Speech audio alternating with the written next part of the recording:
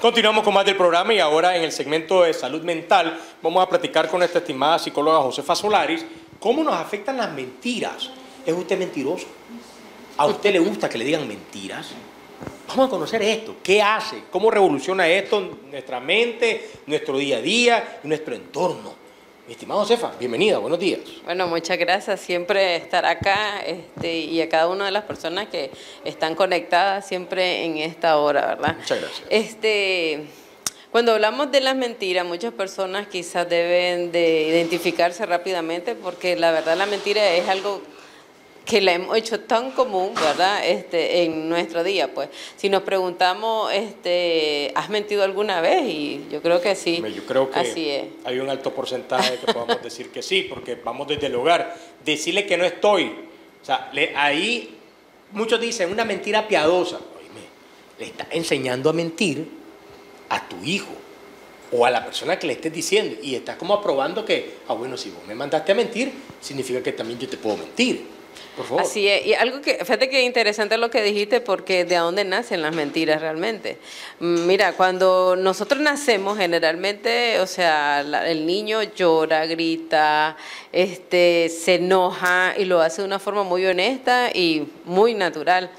Cuando el niño o cuando nosotros empezamos, cuando vemos, como decías vos, cuando imitamos, ¿no? Si mamá y ma- papá llegó el cobrador, entonces decirle que no estoy, ya ahí ya comienza, por ejemplo, este, a decir y a estarle enseñando a ser mentiroso, pues. Este, no deberíamos, pues la verdad, pero sí lo hacemos. Generalmente más dicen que en nuestras culturas, en nuestros, en muchos estudios dicen que más la cultura latina somos muy mentirosos, este, porque este, a veces lo hacemos en el caso de, entre comillas, esas mentiras blancas o piadosas, porque no queremos lastimar a la otra persona. Por ejemplo, tu pareja de repente, mira, y esa comida, este, cómo, cómo me quedó riquísima, ya entiendes, así deliciosa y tal vez está un poco salada, un poco dura, eh, no quedó bien el arroz, no quedó bien el gallo pinto, pero porque lo hacemos para no herir, ¿verdad?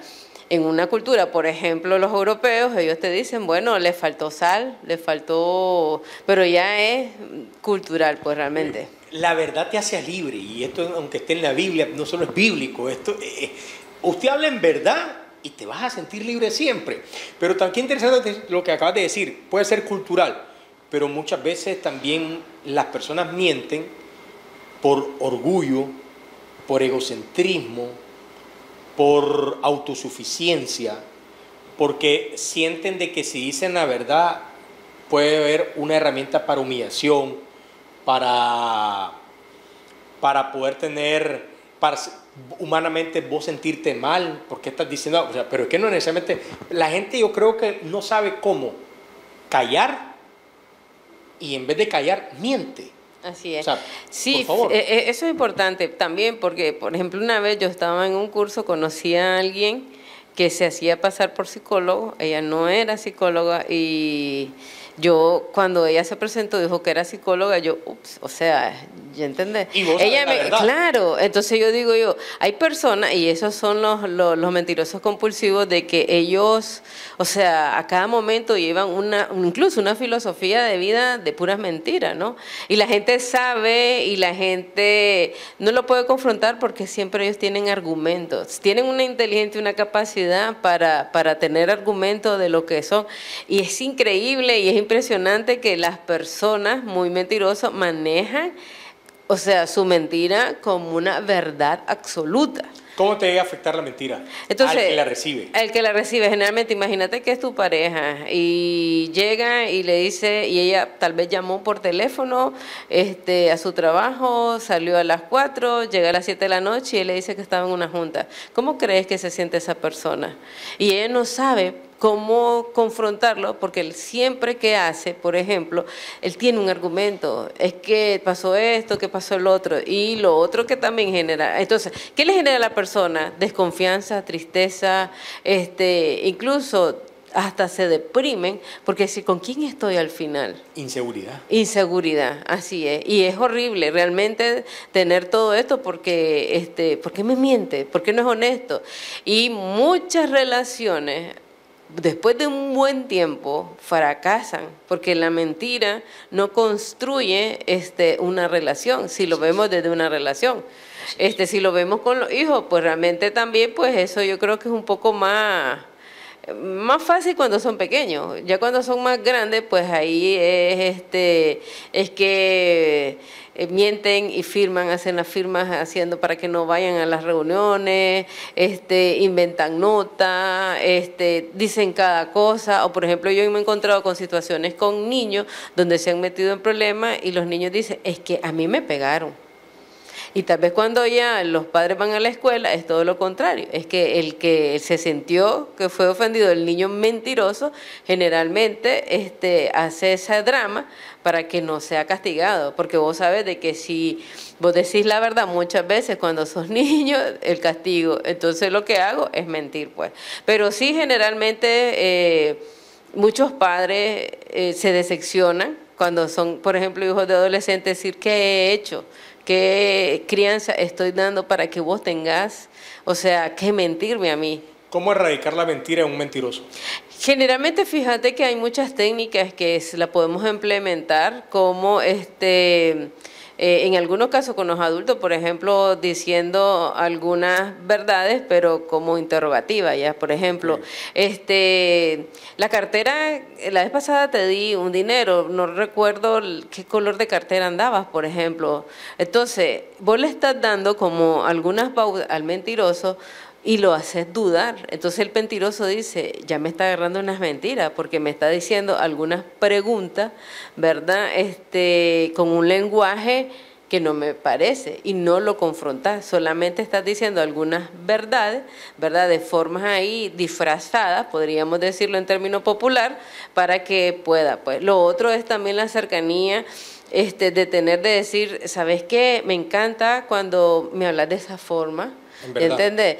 Tal vez no decir cuando me hablas de verdad, porque ellos se van a sentir ofendidos, porque se sienten ofendidísimos, que si vos lo decís es mentiroso. Hablamos de adolescentes. Es correcto. Entonces, esa parte este, con los adultos también este, es importante decirlo, este, y también con los adolescentes y con los jóvenes, pues, este, de que me gusta eh, tu forma en la que me estás hablando hoy, me parece, porque generalmente la persona mentirosa miente porque no se siente bien con muchas cosas, porque a veces también hay personas que se autoengañan, ¿ya ¿entiendes? O sea, demuestran algo que no es, dicen algo que no es. Por ejemplo, mi papá es abogado, mi mamá es abogado y tal vez son unas personas humildes, ¿verdad? Que no tienen tal vez una carrera, pero él ante la sociedad o ante los demás, él quiere aparentar. Para encajar. Es correcto, es correcto. para encajar, así es, en, en los grupos o para encajar en la sociedad realmente, ¿verdad? Entonces, es, es, es triste y lamentable porque vos tenés que llevar una vida este, llena de mentiras, que muchas veces sí te confundí. De repente dijiste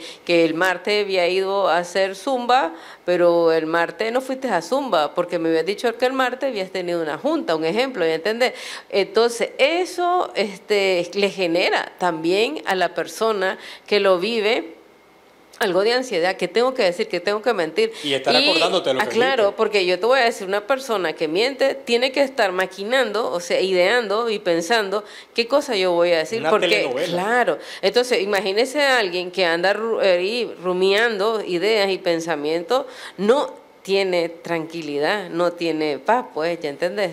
Josefa, mi estimada Josefa, ¿cómo pueden hacer nuestros medios televidentes? Nos queda un minuto, veces codo, pero no te preocupes, nos queda un minutito y la gente también conoce bien de que esto es algo en el cual se tiene que trabajar, se tiene que hablar y se tiene que ayudar. Y muchas veces en el hogar no existe ello porque hay un mal ejemplo de esto. Vos lo decías, lamentablemente con los ejemplos instamos a que el ellos creen que está bien mentir. Entonces, menos que esto son terapias también grupales, familiares, para poder ayudar en conjunto. ¿Cómo se pueden abocar con vos, por favor, para ello? Y solo para terminar en este minutito, para que nos diga, se podría decir que aquel que es mentiroso crónico es una patología. Sí, ya una persona que, que ya tiene, digamos, esos niveles, porque hay niveles de mentira, ¿verdad? Y tiene intensidad y frecuencia, sí ya se puede decir que es una patología. Todos que no puedo, ¿Cómo? Todos tenemos un amigo mentiroso. Sí. Que lo dejamos pasar. Ya sabemos que es mentiroso. Así es. O sea, pero sabemos que digamos que es como un estilo, pero no es crónico. Pero no es. Sino es de vez en cuando. Y uno dice, pues que vos sos mentiroso y no te compones. Y él lo acepta, ¿ya entendés? Sí, Y o sea, lo- lo- todos tenemos un amigo mentiroso. o sea, Sí. que, que le decimos, y ay, otra vez, alguien fue. Sí. Pero hablen verdad, hombre. Pero, como que hasta lo hacemos juego. Sí. Pero esto también es, es un problema. Claro. Hay que ir a terapia, hay que cosas. Ah, así, así es, porque por ejemplo, tanto el patológico como el otro que El digamos que es más compulsivo, ¿verdad? Este sí pueden ir a hacer proceso terapéutico también, porque lo que se hace es reestructurar cognitivamente, ¿verdad? Este un- el- la parte de por qué estás mintiendo, qué necesidad tenés, porque detrás de esas mentiras hay muchas necesidades afectivas en este caso, pues entonces algo que quiero llenar y entonces me vuelvo adicto a esas mentiras y como decís vos, hasta yo lo puedo tener una patología de tanto hacerlo como un hábito también, sí. Tenemos que hacer, lamentablemente, mucho que se que hacen castillo en el aire, pero en mentiras, en mentiras, en mentiras. ¿Dónde está Así ubicada, es. mi estimado José? Bueno, ¿Dónde este, estoy ubicada en Altamira, ahí por la Vicky, una cuadra a- al, al oeste. Justo ahí en la iglesia de San Agustín y este pueden contactarme al WhatsApp 888-41-350 y en el Facebook como Josefa Solari guion psicóloga. Excelente. Muchas gracias, Sí. José. Te agradezco por habernos acompañado. Así Ok. que terminamos la revista la mañana de este día jueves, deseando que usted la pase muy bien y te esperamos mañana viernes, 8 en punto de la mañana. Nos vemos.